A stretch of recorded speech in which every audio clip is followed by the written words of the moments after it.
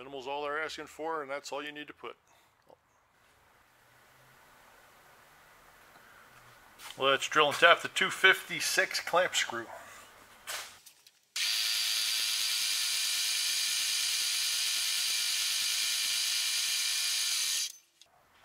There is a secondary elevation on this rod for an oil cup. On the large end, make sure that you drill and tap this accordingly. Just orient the part correctly.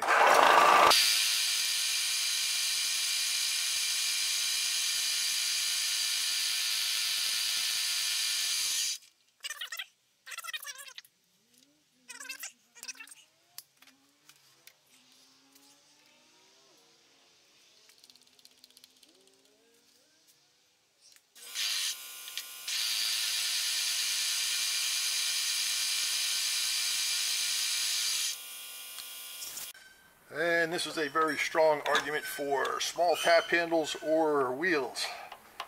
Tap handle is not going to clear the 45 degree, so we're going to use a wheel on this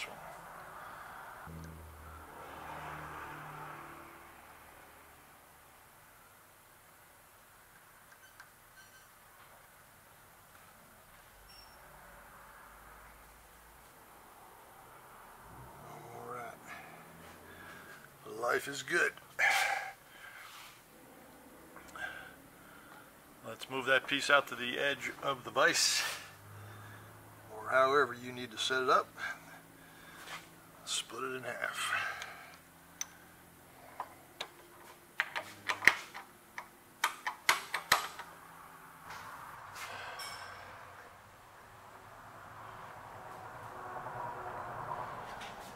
I am back on the tooling plate for the slot. They're asking for a 1 16th slot. I have an 051 saw I'm going to go through there with it's very handy. It's very sharp. First thing I did was register the bottom of my saw on the top of my part right here. Wait for it to ring and then I moved down half the thickness of the saw. And then I moved down half the thickness from here to there, the distance. So I found the center of the saw first and then I found the center of the part. I'm going to just plunge it straight through to the center and hope it all ends well. So let's do it. Awful lot of detail on a small end. That make sure everything's sharp, make sure everything's tight. Cross your fingers, away we go.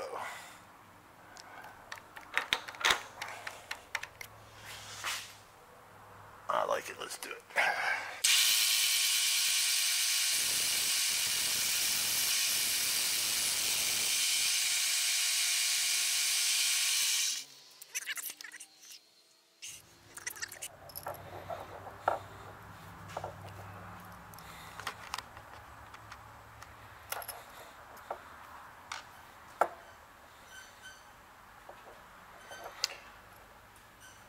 This is one of those features that if you had to do it over again, you would have to pick exactly what you want to see.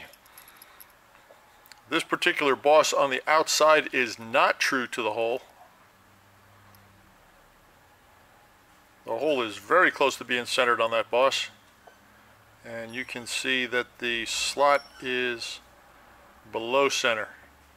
There is a 6 thousandths of an inch difference here, and that's probably because this side is tapered really bad that's not cleaned up. Spot face itself is minimal, but it does serve the purpose for the screw. The threads do start on the bottom side of the split, which is awesome. I did not have to do anything to it. And as far as pinch capability is concerned, let's see what it takes to lock that down. Snug. And that is surprisingly secure. Surprisingly secure. A little upset about that, but you're not going to see it when it's installed. Let's just for fun put it together. And these parts keep getting smaller. I'm going to have to get a bigger viewfinder on my camera.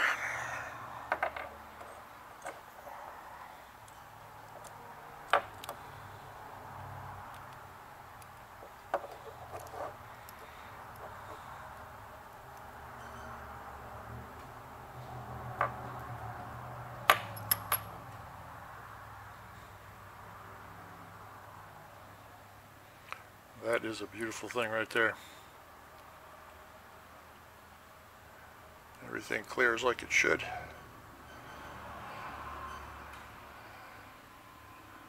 The rod and the crosshead are very close to being concentric.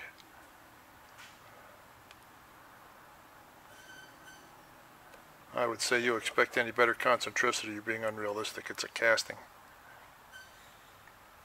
Alright, I like it. Got to do the other side now. Let's take this side, cut this off, do the exact same thing. I'm digging this. After calculating the distance from the flat on the end of the part to the 3 inch 375 parting line after this thing is supposed to be cut apart, I know what my depth of my drills have to be from this surface down. I am hanging on the surface plate or my little tooling plate and we're going to counter bore spot face drill and tap a pair of 540 holes three quarter center to center. Centered about the boss right here. Use an edge finder on the back and move forward. Use a pin in your drill chuck. Contact one side contact the other side split the difference. That's your zero 375 either way. The depth for my features has to be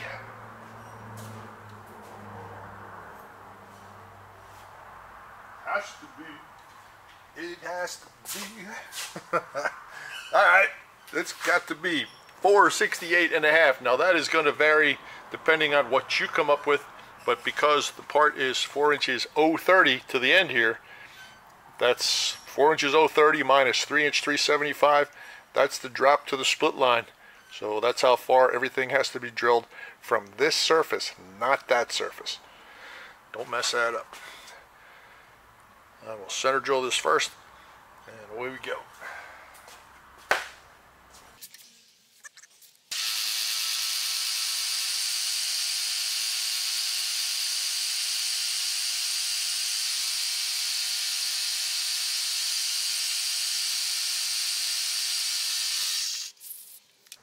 a lot of you guys are about to cringe, but I'm going to put a 730 seconds end mill in my drill chuck, and I'm going to come down and I'm going to spot face that.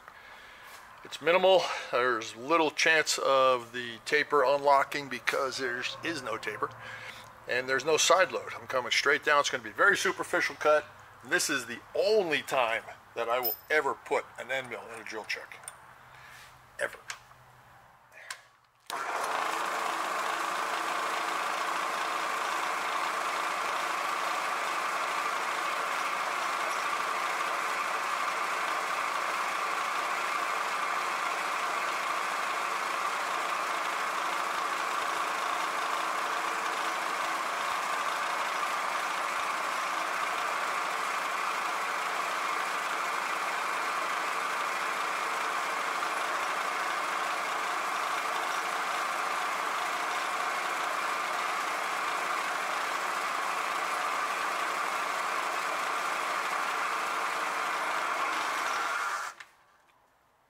Clean up the surface. Do not get carried away.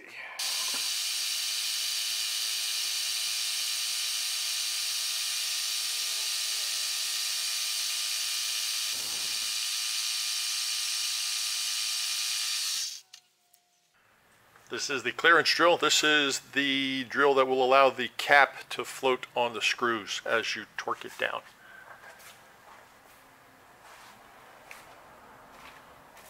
Got to go 468 deep. I'm going to make contact with my little plateau here. Gentle contact.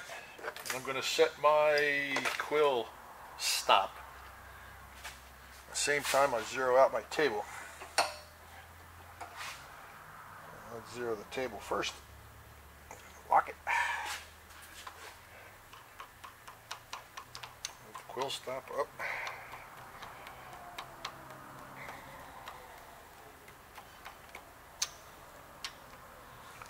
Contact with the drill.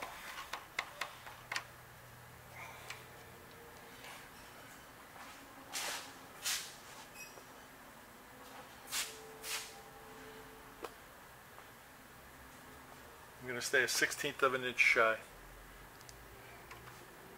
400 deep.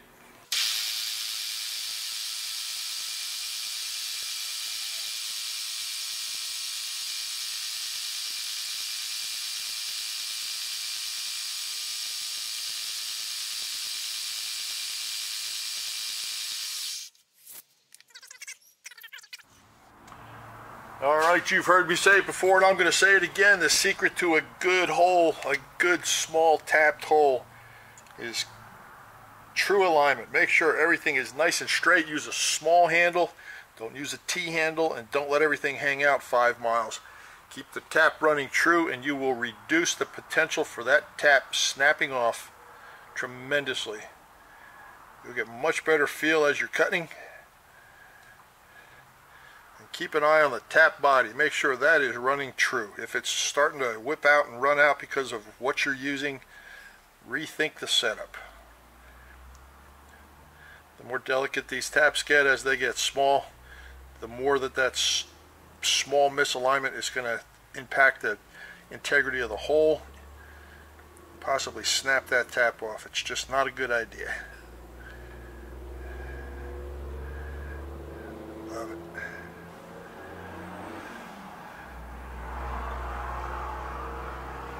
Okay, if all went well, the clearance hole on the top is about a 16th of an inch shy of the parting line. And now I just have to figure out how to hold it to make that parting line. And everything will be just wonderful.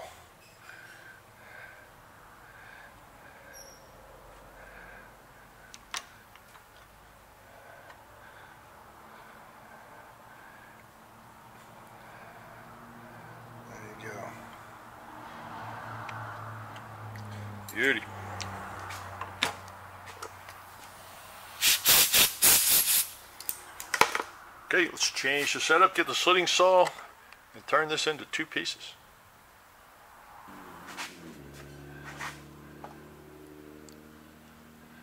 Back on the tooling plate, clamping it very similar to the way it was clamped when we did the first surface of the end journals. Indicate the flat on the end so that it runs true. Call it a day. Now when we bring the slitting saw down, we're going to make contact with that surface. We are not going to take half of the slitting saw. We need to go directly to a specific line. On this part it is 468 from that surface down. I am not going to split it. I'm not going to split the thickness of the saw. I want to hit this bottom circle right on the center line. Maybe stay a thou or two proud just so I can clean it up if I need to. Alright? And that is basically the setup. Let's get a three-quarter collet in there, put the slitting saw, cut this thing off. Hold your breath. Camera is around the back side of the part now with the teeth the way they are. I can expect one side of this to cut really nice and I can expect the other side to start to sing. The way these teeth are positioned right now, cutting on that side, this side, it's going to drive the part against the tooling plate. Cutting on this side, it's going to want to clap it away. So if there's going to be any vibration, it will be on the side that uh, the teeth push it away from the fixture.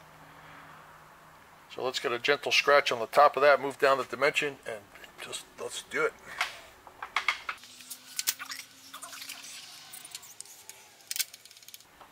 For what this material is, a coarser tooth blade would be ideal, but this is probably the sharpest blade I have, and I'll just keep an eye on the teeth. Do not let it pack up.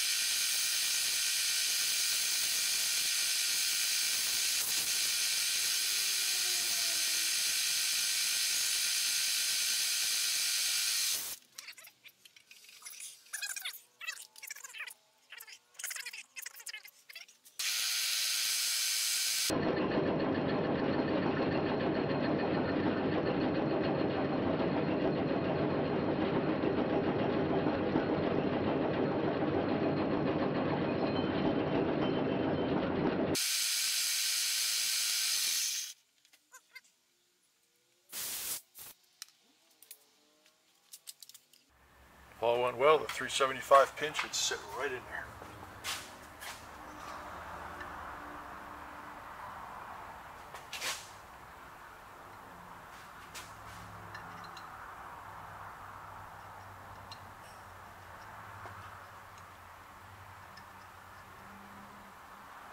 It does.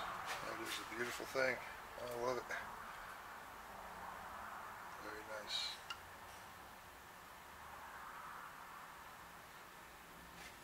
While it's in this setup, there is an oil hole that goes directly in the center. Note on the print, put that oil hole in while it's clamped up, solid and located.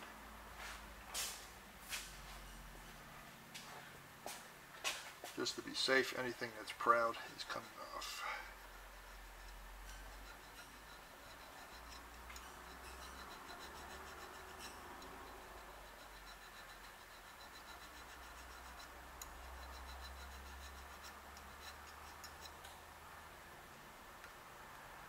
Beautiful thing. Back to the drill chuck. This is the cap side of the connecting rod. It is inverted in my vise, indicated across the flats. I'm going to take about 60 thousandths off the face on both sides, and I will assemble it and I will measure the hole. I would like to get as close as possible and possibly not even have to bore this again. So 60 coming off right now.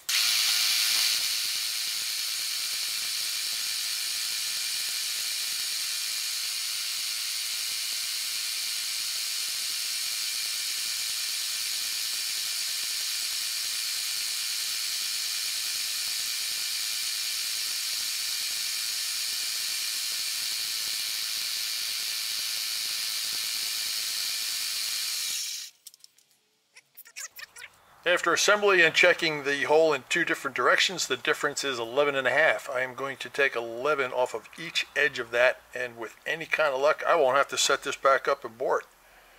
If this hole is elongated, if it's longer across the journals than it is across the screw uh, direction, it will knock. And if it's too tight, then it'll pinch the rod. So I'm shooting for about a half a thousandth of clearance here. 11 thousandths coming off.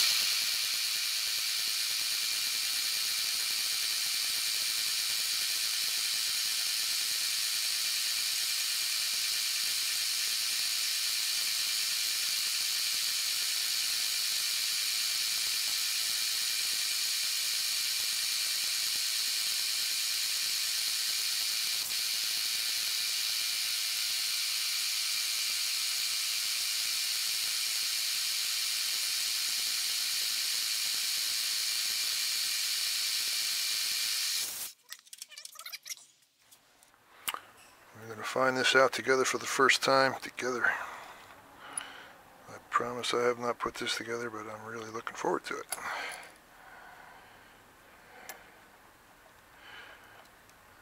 Now a couple of punch marks or some other witness mark to let you know which way this cap goes on is probably not a bad idea.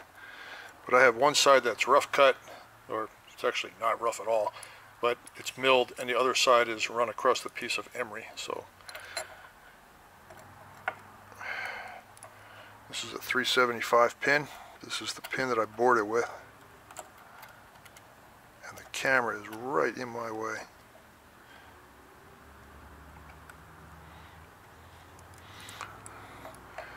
Let's move it closer to the edge so I can cheat.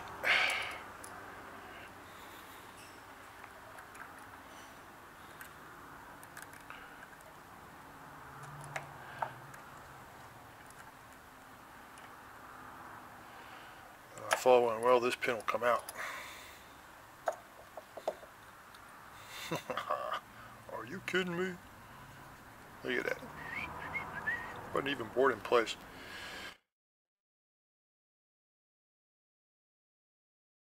control. There is an oiler hole in there that will connect to the oil cap, and this is the side that will be up in the assembly. Purely for the aesthetics of this particular area where the oiler goes, I'm going to clean that area off and I'm going to try not to hit the radius of the main rod area itself. Just clean it up.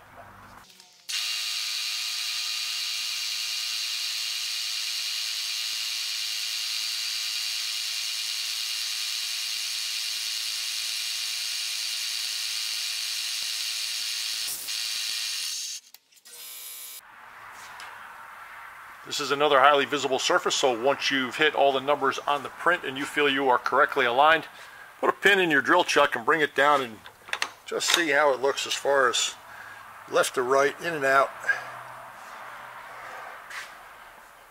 And once you're happy with the fact that the pin sits in the middle of the land, which is driven by the size of the part that you formed in an earlier operation, if that is not symmetrical, then technically once you pick up that thickness and split it in half for the y-axis alignment, the cup will be off. So stick a pin in there and if you have to cheat a little bit, so be it. So long as it intersects the hole that comes in from this side of the rod, where's my finger, there it is, there's a hole in here. These two holes have to meet or this has no purpose whatsoever. This is the oil canal that comes through and lubricates the crank. Let's put some threads in there. 256.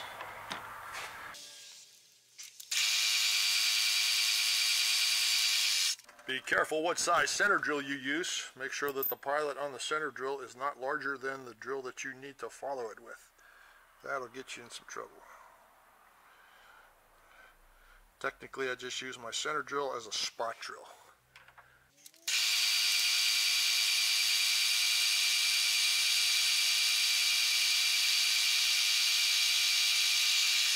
You'll definitely feel it when it breaks through.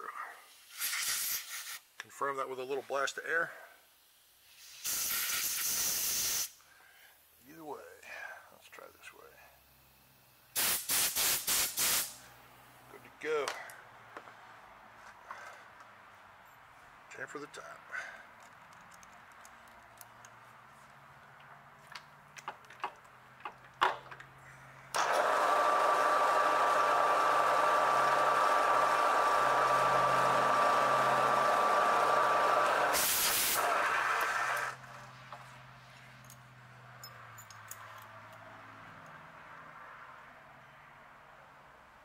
Print calls for an eighth of an inch deep here.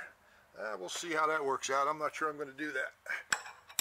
I may go a little deeper just so that the cup sits on the cup and not on the threads.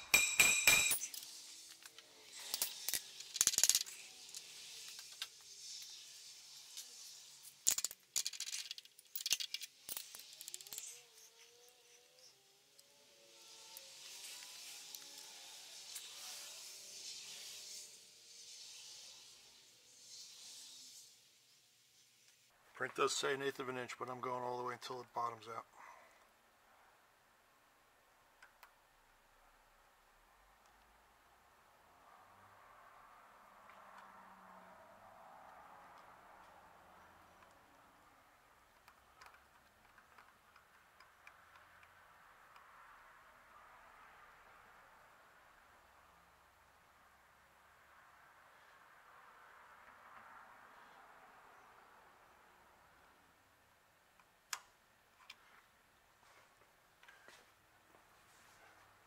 If you do buy or own one of these tap guides, do yourself a favor and keep a variety of springs available to re, uh, regulate the, the pressure on here. For a small tap like 256 going into a piece of brass or aluminum, you're not going to want the same pressure that you're going to use for half 13 with a piece of steel. So keep a keep an assortment of springs and keep them handy and make sure you use the correct one. Let's pop it out, blow it out, put it together. At this stage of the game, if everything went well and all your holes are in line, you should be able to lay a pin across your journals and assemble the crosshead. And there should be no lift or twist on either side of this.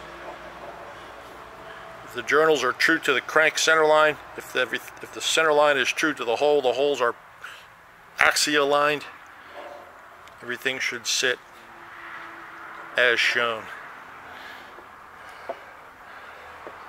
If there's any problem with the rod, the rod is going to bind, the rod is going to cause a lift, and the rod may also want to lift one of these sides.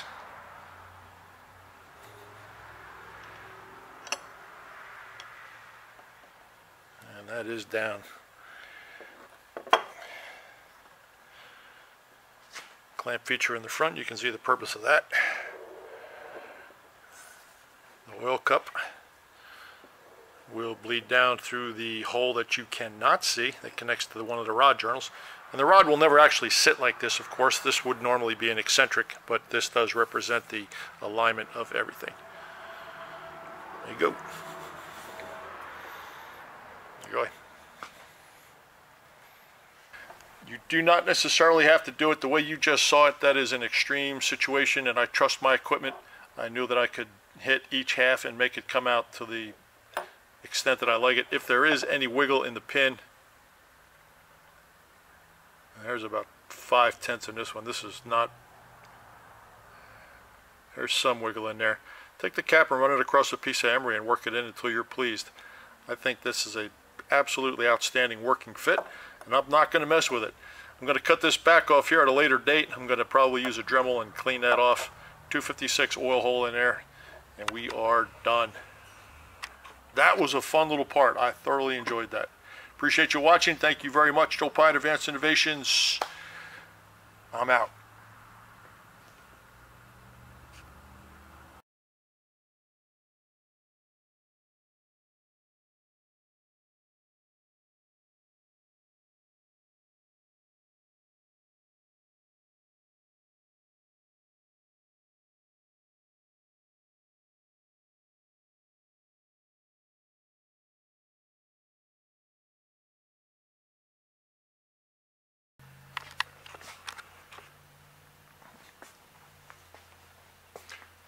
Here's a little bonus material for you. If you have a Kurt style vise and you have a handle that looks like this, personally I hate these handles and quite often if you're not careful the handle will extend too far down and jam in the ways of the machine. This is one of those setups that takes three hands to settle in. I am doing the 256 oiler hole for the connecting rod, which is why I thought it was a good time to show this. This is a setup that you need two hands to hold the block down, hold the part against, and there's just really no way to tighten the vise. Well, here's my solution to that since I like a speed handle better than a long handle. Get the whole setup to the point where it's snug, everything. It doesn't have to be in position right now, but just snug. And position the handle at about oh, 4 o'clock or so, so nothing, it's not going to hit anything down here. Now here's the trick unloosen the vise and balance the handle at 12 o'clock.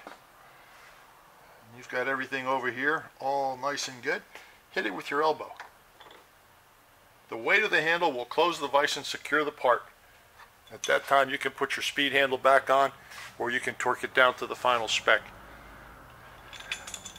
But starting with it at the 12 o'clock and letting gravity finish it off for you that's just wonderful. Make sure that when the gravity does swing around, which is why I say to position it at 4 o'clock to start, that it doesn't encounter any other part of the machine and just swings freely. Good tip to know, and it will certainly save a lot of frustration. Now let's put an oil hole in this thing.